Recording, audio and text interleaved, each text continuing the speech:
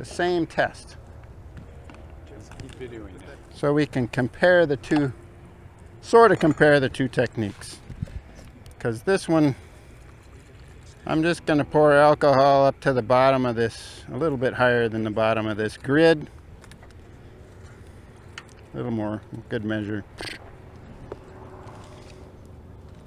We can get into a whole discussion on the, the benefits or or uh, the pluses and minuses of each one of these test techniques, but not today. I don't want to get into that.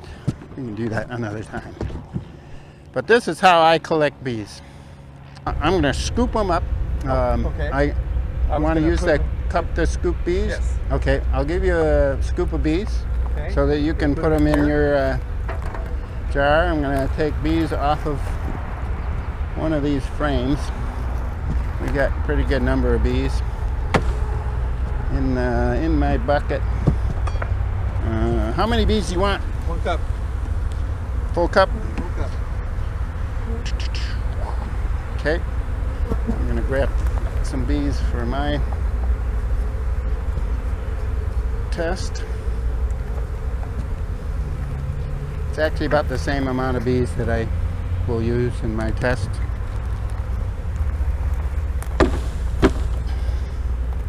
So for the sugar roll, I put some powdered sugar into this jar, and I'm literally rolling the bees in the sugar and using a, a jar that has one of those open lids so that uh, I can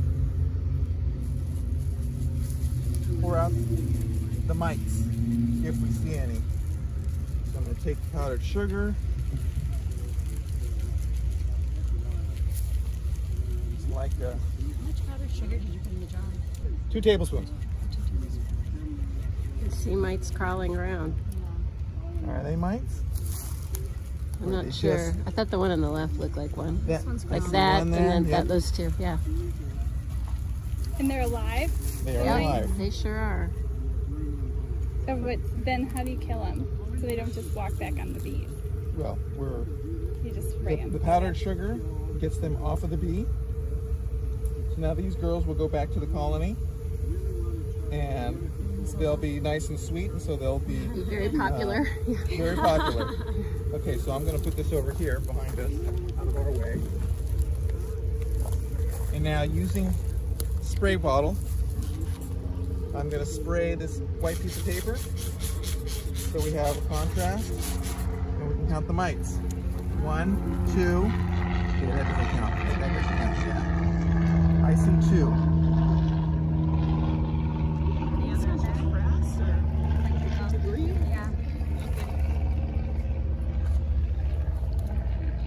So I'm looking at one there, one there, and I think the rest of the stuff might be debris. I'm gonna put you to work, Gabriel. Just kind of gently uh, wash those those bees. It really only takes about 30 seconds to do a good washing on these bees. The drawback of this method is it does kill kill the bees. The mites will sink in the alcohol and I don't see any. So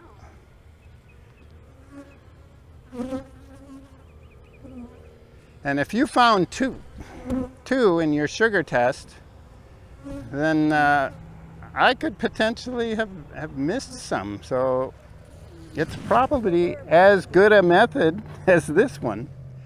I got a few bees that are.